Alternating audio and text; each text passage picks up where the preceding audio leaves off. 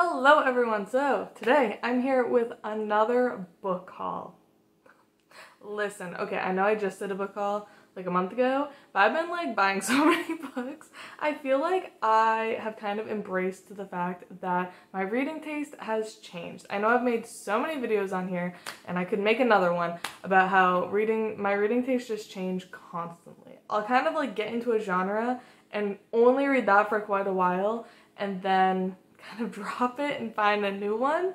Um, and I kind of have been doing that in the last like year or so. I just kind of embraced it finally and bought a whole bunch of books that I'm actually really excited to read and it's really making me reconsider all of the other books that are on my TBR, but it's fine. I'll figure it out eventually. But I, yeah, I just bought a whole bunch of books in the last little bit. I bought a whole another, god, like three stacks um, since the last book haul. So here we are.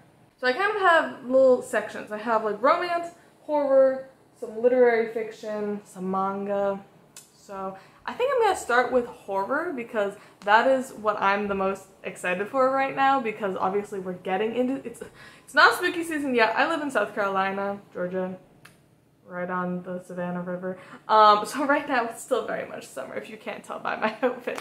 But it's gonna be summer until like December. Only thing I miss from the north is having seasons.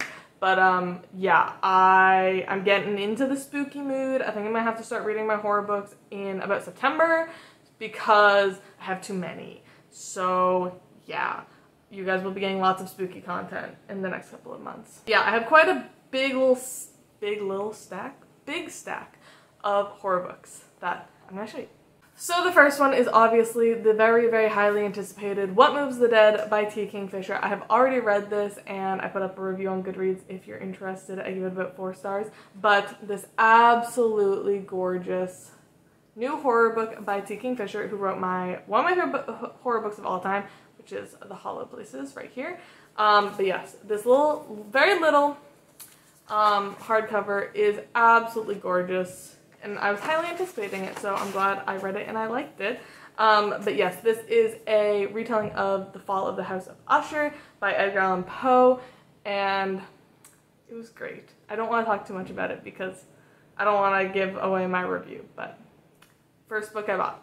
Not actually the first book I bought, but first book in this stack. And then I have one more non-Stephen King horror book, and then I just have a stack of Stephen King. So I have Unbury Carol by Josh Malerman. I hated Bird Box so much. It's one of my least favorite books of all time. But I've been interested in this one since its release and I was like so tempted to buy it for so many years ever since it came out and I just didn't but my local bookstore had it on sale for 8 bucks.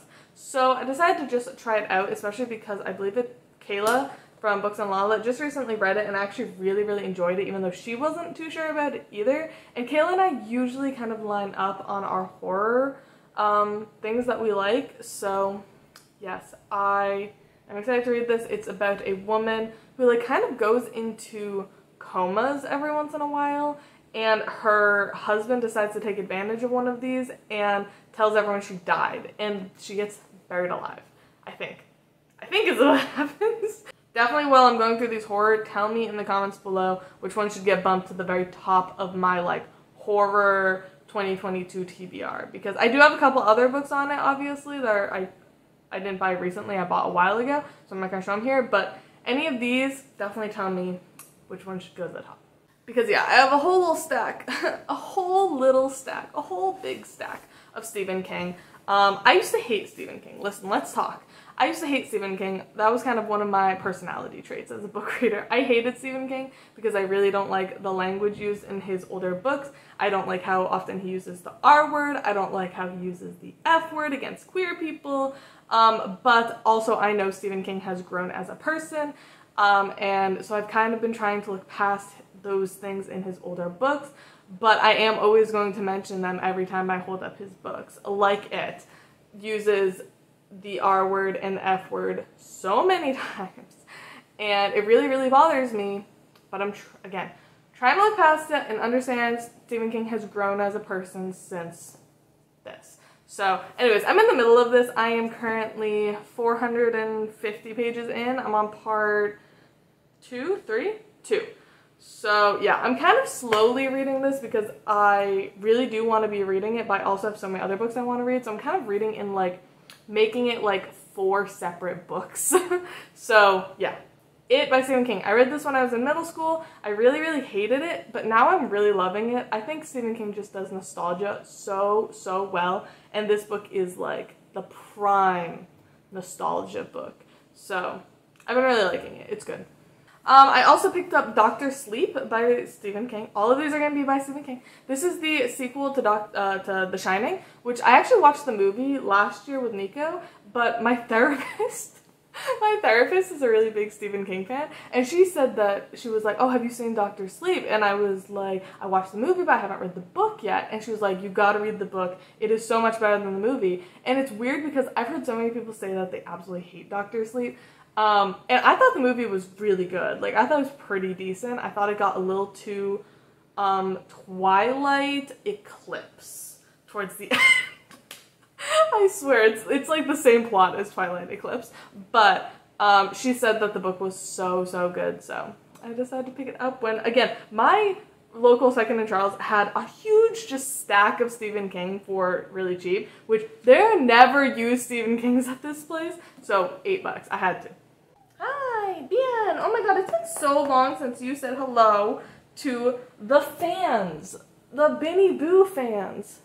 There's my kitty. Aww. Also, I know you guys haven't gotten to see Charlie that much, who's my newest kitten. She's not as um cuddly and lovey as Ben is, so she's over there. But I do have three cats now, if you guys didn't know that. You are shedding like crazy, cat. I just, I have so much cat hair in my mouth now. You want to come up? Ben, come on. Come on. Good boy. Um, okay, next up, we have Carrie by Stephen King, which I have actually never read Carrie. I know exactly what happens in it just through knowing pop culture, but um, yeah, I've never actually read it before, so I'm actually kind of excited. Obviously, I feel like it's a very mixed reviewed book because it's Stephen King's first, so people have a lot of issues with it. Um, like the writing isn't as good as other books by him, um, but I hear that the story is still obviously really good. So, gonna try this one for the first time. Ben, you really need to clip your nails. We need to clip your nails, buddy. You're killing me over here. He's like digging his nails into my thigh. Oh, now you're doing it to my arm. Bye, babe. Go, go. The next one was another one. This was $2 a Second and Charles. I had to. I've been wanting to read this for a very long time, and that's The Mist. I absolutely love the movie of this book. So I've been wanting to watch, the, uh, read the book ever since I watched the movie back when I was in like freshman year of undergrad. So I'm really excited. It's one of his like novellas, I guess you'd call it. So really excited for this. The next one I picked up was just because, is, is, this a new adaptation or something? Because I feel like it's been everywhere. Like every time I go into any store that sells books, there's a dozen copies of this. And that is Lacey's story? Lacey's story? I don't know. When the person's name is bigger than the title of the book, I'm concerned that it's just famous because of the author. But this is basically, it sounds like, um, oh my god, what's that movie called? When, oh, God, it's like when they like go into people's dreams. Oh God, I don't know. This is about she's like his her um husband died and she has to like before they married, Lacey knew there was a place Scott went, a place that terrified and healed him, could eat him alive or give him the ideas he needed in order to live. And now that he's dead, she has to like face his like world that he's created in his head. I have no idea. It sounds really cool though, so we got it. And then I picked up a Firestarter because there is a new adaptation for this. It's a it's a movie now. Um, this is actually one of my friend's favorite books of all time, and I have been meaning to read it ever since she told me that back when we were in high school. So I feel like now that I'm on my Stephen King kick, I should finally give it a try. This is not horror though. This is like kids with superpowers, which Stephen King seems to have two things: horror or kids with superpowers. This is kids with superpowers. All right, next up, I'm going to do some romance, starting with Crave by Tracy Wolff. This is the one that everyone thinks is Twilight. Um, I've heard it's just actually really good. Haley actually like loves this series. So I'm always up for something that gives me like Twilight nostalgia. So I figured I'd pick it up. It's vampires, vampire romance. I'm gonna try it. Next up, I bought a whole bunch of books because of the Target like buy one get one sale. So I have The Fine Print by Lauren Asher. This is one I feel like I've just been seeing this all over the place. The cover is gorgeous, so I totally understand why. And I believe that this is about a woman who gets into this company and like it's a boss romance or something. I think they're lawyers or like architects. I don't know. I don't look into my romance that often, but I keep seeing it recommended, so I wanted to pick it up. I also picked up The Deal by Elle Kennedy. This is an author I feel like I've been hearing about on booktube for years. Every time, like a while ago when everyone was trying to get into quote unquote new adult, which was just romance. um, I feel like Elle Kennedy was everywhere and people were like scandalized because it's just smut. Um, but yeah, this is a like hockey romance, I think. So, gonna try it out. I also got The Charm Offensive by Alison Cochrun, and this is a queer bachelor, basically. So, it's two men, but it's like The Bachelor. And I think we basically follow them while they're filming The Bachelor, but queer. I wish that actually existed. This was another Haley influenced book, and that is Ugly Love by Colleen Hoover. I feel like Colleen Hoover has gone through many phases. People absolutely loved her and everyone ever was reading her and then she was problematic and canceled and everyone hated her and now she's back because people are like she wasn't actually problematic she was just writing books that were like supposed to make you uncomfortable um so I'm gonna give her a try this was Haley's favorite so I picked it up I also got Beth O'Leary's newest book. I never read The Switch by her, um, but I absolutely loved The Flatshare, and this is The Road Trip, and I'm assuming it's just gonna be a fun road trip romance. It's a cute cover. I really like it. I had no idea that this came out, so I don't know what that says about it. Ooh, that stack is getting high. Oh no. I also picked up another one for Pride Month, and that was Everything for You by Chloe Liese. And this is like the fifth book in a series, The Bergman Brothers. And I was really excited to read this for Pride Month, and then I ended up reading nothing for Pride Month, so that sucks, but I have it. It's a queer soccer player romance. And then I picked up the book I feel like I've been hearing about for so long, Punk 57 by Penelope Douglas. I've never read a Penelope Douglas, but this book just seen it everywhere. So I don't know what it's about. I don't know if I've been seeing it everywhere because it's good or if it's bad. So I picked it up. I want to experience it. Okay, that's as high as that sack is gonna get. We're gonna leave that. Then over here, let's keep going with romance. I picked up all three of the first volumes of um, Mo Xiang Tong Xiu's books, um, who is a Chinese writer who wrote queer, gay, smut. And they got in a lot of trouble for it, but it's also a really popular thing now. Um, so we have The Grandmaster of Demon Cultivation. I love the titles of these. They're like ridiculous. Um, and gay, so that's awesome. Um, the, the Scum Villain Self-Saving System. Gay, love it. And then Heaven's, Heaven's Official Blessing gay. Love it. Really, really excited for these. I thought that they were manga at first. They're not. They are novels. I know that there's manhwa for it, but these were what were available at my local Second and Charles. And the last romance I picked up this month was The Perks of Loving a Wallflower by Erica Ridley. This has been on my TBR like to read for so long and I finally found it in person. I got really excited, so I picked it up. Also, JK, I lied. I have one more romance from that Target buy one get one. The Predator by Rune Nixon. I think this is a, yeah, a mob romance, which we'll see. I like don't usually like mob centered stories. Like I really don't like mob K-dramas or movies or anything. So we'll see if I like it in a book, in a romance.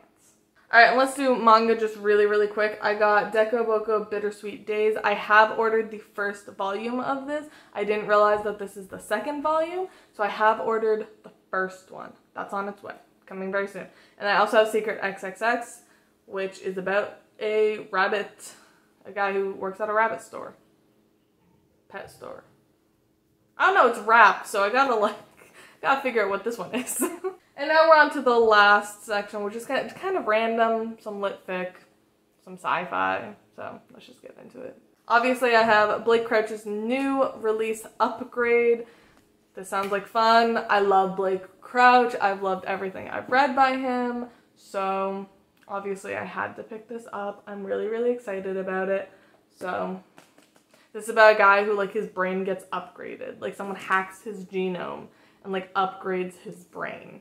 So, sounds fun. We've got Young Mungo by Douglas Stuart, a queer kind of story about two boys who like should be enemies, but they fall in love. And I think it probably faces a lot of, I think it's probably about a lot of them like facing homophobia from the church because they're both Christian. So I'm interested, really excited about this one. Heard amazing things. Then I have Elif Batuman, The Idiot. Um, this was another one I found for three bucks at my local Second and Charles. Really excited about it. Um, I've just seen this everywhere on Bookstagram and I was having FOMO. This seems like a dark academia that takes place in Harvard and it's kind of like a romance, dark academia, something. I don't know. Sounds fun. I love Harvard. I grew up in Massachusetts, so I went to Cambridge all the time. So I always find it really fun when a book is set at Harvard. And the last book I have to talk about is the one I'm currently reading, and that is How High We Go in the Dark by Sek Sek oh, I should have looked up how to say it. Sequoia Nagamatsu. And this is a book that follows basically a near future that is being very affected by climate change and they these people like archaeologist people are going through the arctic circle and they find a little girl frozen in the ice and when she dethaws a deadly virus is released into mankind. Ben what are you doing? He's like sticking his head out of the blinds. Bro what you doing? So yes this is one i'm currently reading and i'm really really excited about it obviously. Alright, anyways, those are all of the books that I bought in the last month. I hope you guys enjoyed this book haul. I'm hoping I'm in a reading mood again. I'm like getting back into it, so I'll actually be able to get through some of these books in a timely manner. Hopefully, cross your fingers. But anyways, I hope you guys all enjoyed this video. Definitely tell me down in the comments below if you've read any of these, which ones should be getting bumped to the top of my TBR, all of that kind of stuff. So anyways, I love you all and I'll see y'all soon. Bye!